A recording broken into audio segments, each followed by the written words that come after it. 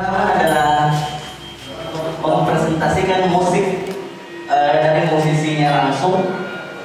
Mereka eh, manggung begitu terus orang menanyakan apa yang mereka mau tanyakan gitu. Yang menarik dalam bunyi-bunyi berhalangan adalah musisi yang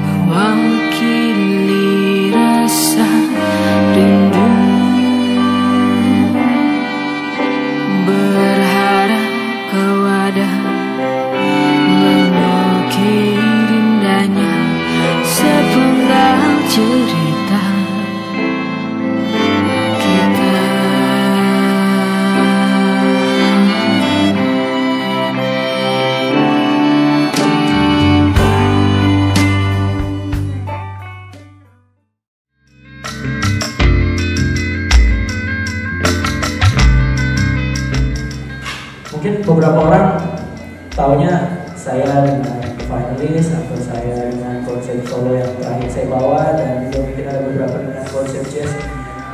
Tapi yang bikin beda di bikin saya senang di bunyi-bunyi peralaman adalah saya bisa menampilkan eh, sesuatu yang jarang saya tampilkan di luar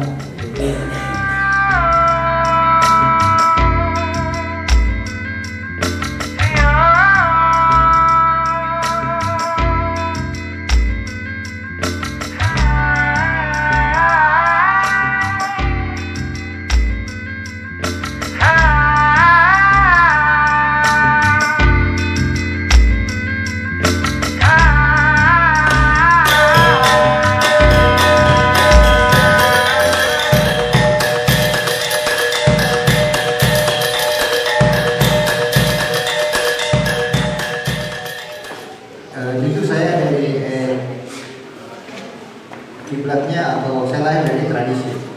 Saya banyak belajar daripada eh, Pak Basri, pada saudara-saudara eh, tradisi yang lain.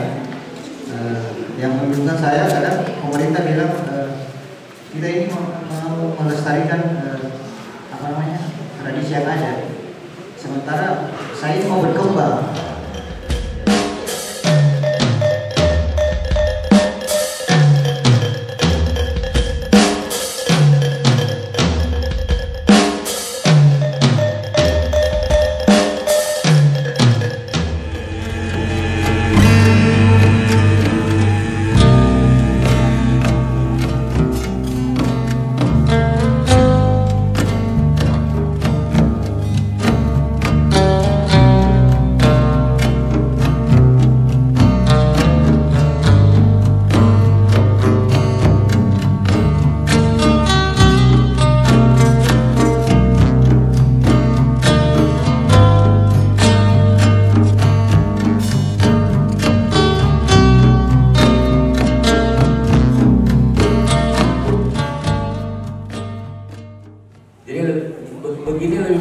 Unsur edukasi, lebih banyak unsur sharingnya, lebih lebih dua arah daripada yang selama ini saya alami dengan band saya gitu. Dan secara musikal juga apa yang saya lakukan ini adalah semua suara yang yang yang yang, yang saya masukkan ke dalam musik-musik yang saya yang saya ciptakan sendiri itu adalah suara-suara yang tidak mungkin saya masukkan dalam band saya.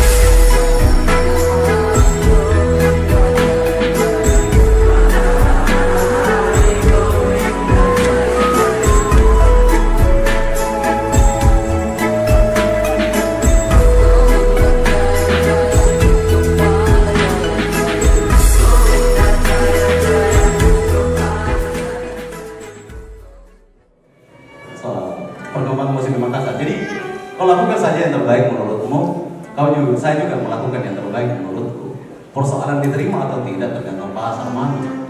Begitu. Soal pakai apa? Soal harapan saya itu tadi. Eh, menjadikan bunyi-bunyi berhalaman ini sebagai sebagai media.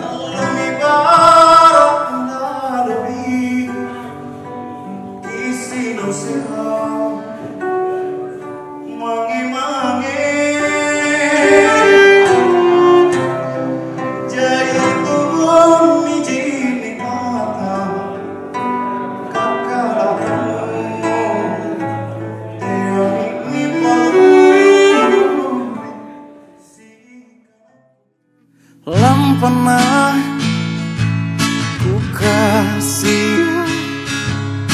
Susana mapadungku pamai Tenamo kabaran yang ku Manana sarro eh